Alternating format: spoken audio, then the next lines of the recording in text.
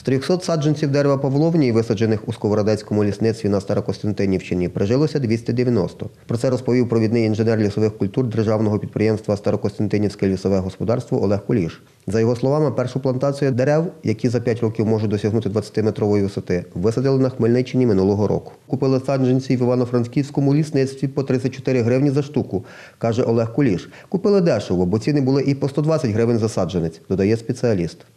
Минулому 2019 році ми заклали тут, посадили 300 е, саджанців павлонії, клон вітру 112. Вони в нас прижилися, ми провели технічний зліз, тобто посадили дерева саджанці на пень для покращеного формування стволу, стовбура для отримання високоякісної деревини. Всього за два місяці після технічного зрізу саджанці виросли до півтораметрової висоти, говорить Олег Куліш.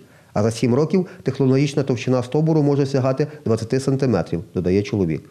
На даний час проведено вже обламування е, листя, велике листя гарне, обламування листя для того, щоб сформувати рівний гарний стовбур дерева, з якого ми в подальшому плануємо отримати цінну деревину.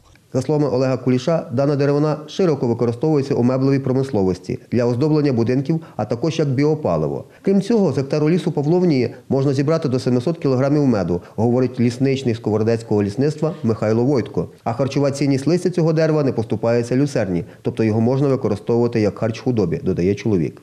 І ми сьогодні можемо спостерігати, що оце е, ми маємо однорічні, однорічні вже сіянці отакої висоти і такої якості. З самого початку це було того року. Вони десь були е, сантиметрів 8-10. Це саме більше.